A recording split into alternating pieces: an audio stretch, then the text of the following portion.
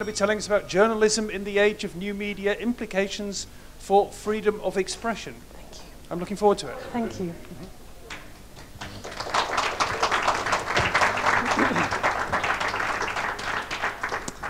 Good afternoon, everyone. Um, I was going to introduce myself, but I think Peter's done a lovely job. um, so I'll be talking about journalism in the age of new media and the effects. Thank you the effect this has on freedom of expression. And thank you very much for inviting me to speak this afternoon. Okay, so just a very quick introduction.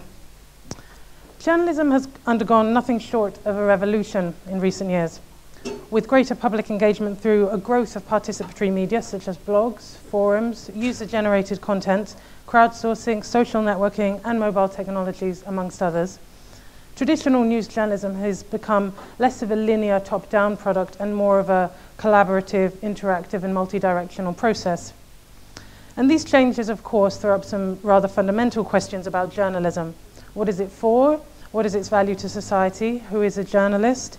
And what implications do these changes have on freedom of expression?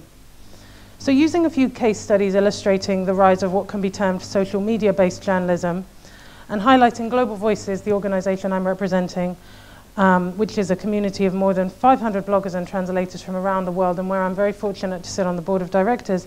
I want to show how we're really in the midst of a democratic, more open, if at times it has to be said, rather chaotic model of news gathering. And this model um, really includes voices that mainstream journalism has often ignored in the past. And of course, while no model of journalism is perfect, and this archetype too does have its flaws, it is undeniable that journalism is now really sort of embracing this opportunity to fulfill its democratic purpose.